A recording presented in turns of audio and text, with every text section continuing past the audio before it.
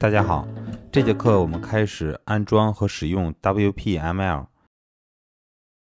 教程演示用的版本是三点八点四。先说一下准备工作。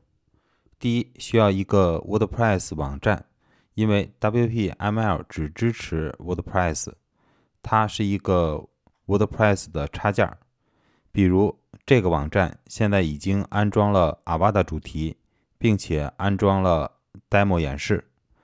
这个网站是如何做到的？请看我们的 Avada 教程。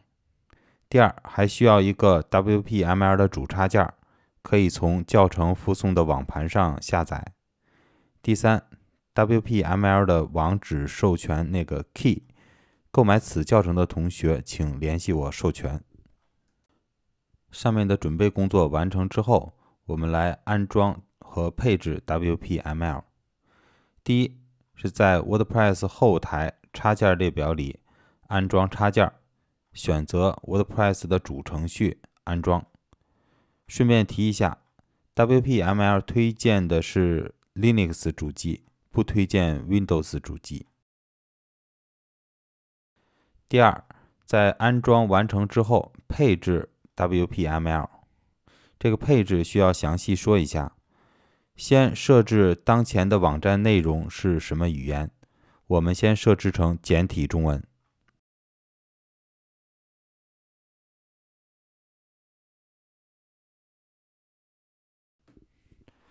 然后下一步选择要翻译的语言，除了简体中文以外，还要做哪几种语言？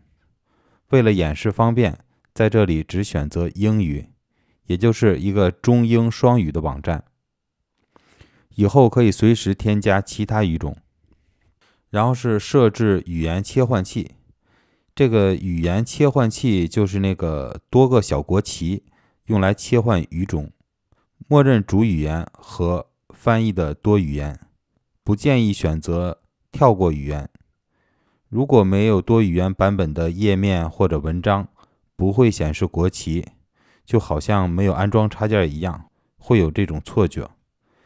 这个问题课程后面还会讲到。最后一项是注册，注册填写正版的那个 key，一个网站对应着一个 key。当时在授权的时候会需要这个网站的网址，给网址分配 key。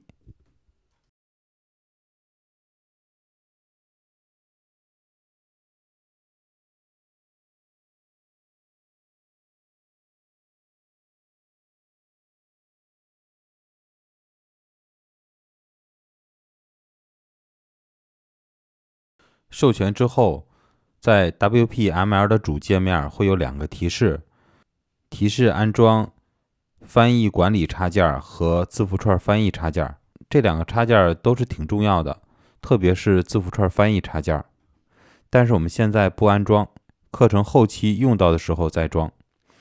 WPML 除了主插件以外，还有很多可选插件，切记不要安装太多，会导致网站变慢。我们根据需要来安装。顺便说个题外话，这个 Avada 主题的网站主菜单没有勾选，先处理一下。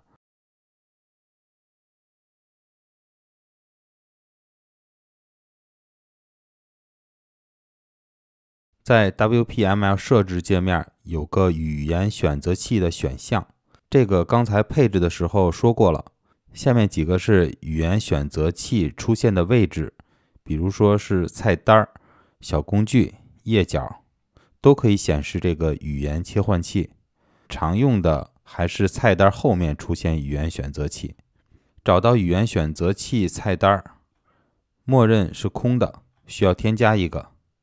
选择 WordPress 菜单儿，然后再选择位置、语言列表。勾选那个国旗和最后一个当前语言，保存，这样网站前台菜单后面就会出现这个语言切换器了。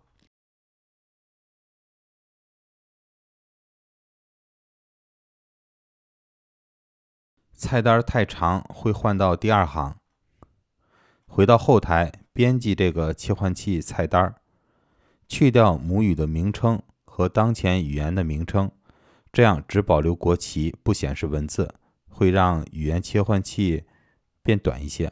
因为现在首页只有主语言，还没有翻译其他语言，所以说跳转到其他语言会显示四零四的错误。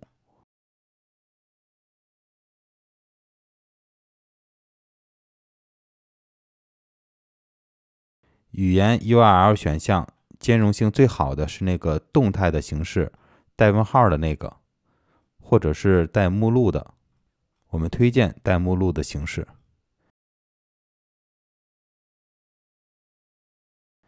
页脚出现语言切换器是怎样的？我们来看一下。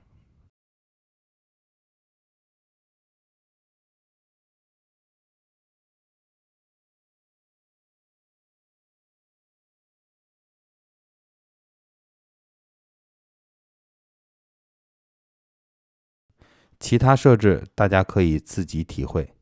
WPML 安装和配置就到这里，我们下次课见。